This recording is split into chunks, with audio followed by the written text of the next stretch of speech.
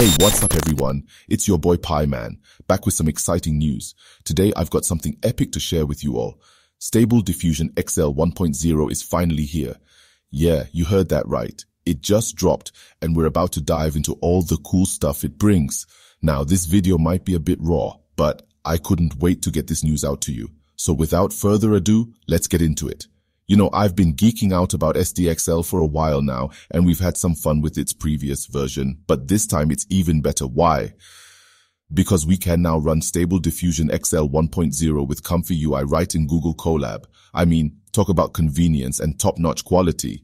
No need to mess around with downloads and installations on your local computer. We've got the setup all sorted out on the cloud. I've got a Colab script file link in the description below. Just upload it to your Google Colab account and we're ready to roll. Click on that runtime environment. Make sure to mount the drive. We need to save those amazing output images, right? And install Comfy UI. Trust me, this will be smooth as butter. Now comes the juicy part. Let's download the Stable Diffusion XL 1.0 base model and refiner model. Don't worry, I'll guide you through it step by step.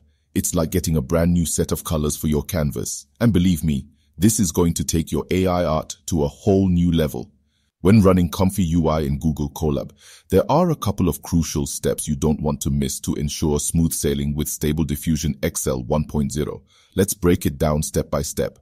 Firstly, remember to change the runtime type to GPU. This is essential because Stable Diffusion XL 1.0 benefits significantly from the accelerated processing power of GPUs, allowing you to generate stunning images faster and with greater efficiency. Next, don't forget to uncomment the lines that involve downloading the SDXL 1.0 base model and refiner model. This is critical for ensuring that you have access to the latest and most advanced AI models to create high-quality artwork.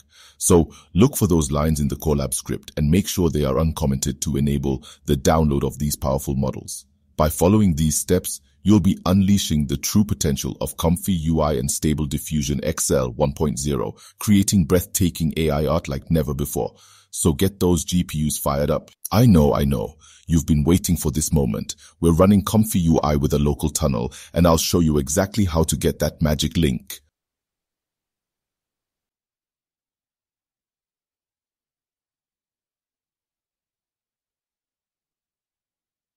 Once we've got that link, we'll enter the endpoint IP. Don't confuse it with your computer IP.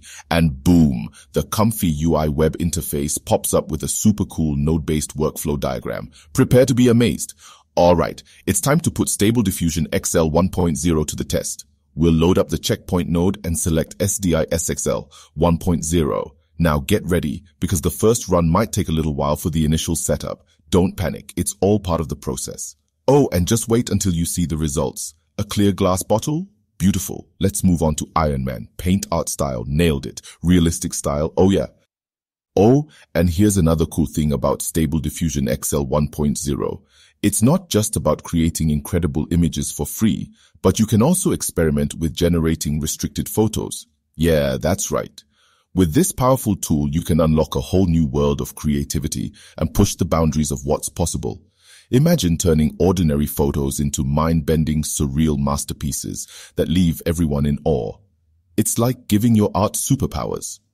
So if you're ready to unleash your creativity and break free from restrictions, Stable Diffusion XL 1.0 is the way to go. And there you have it, folks. Stable Diffusion XL 1.0 with Comfy UI in Google Colab. It's that simple. No hassles, no downloads, just pure creativity. Now, I want to hear from you. What do you think about the new Stable Diffusion XL 1.0? Tell me in the comments below. And if you loved this video, smash that thumbs up. And hey, don't forget to subscribe to our channel for more mind-blowing content on all kinds of generative AI and AI tools. Until next time, keep creating and I'll catch you in the next video.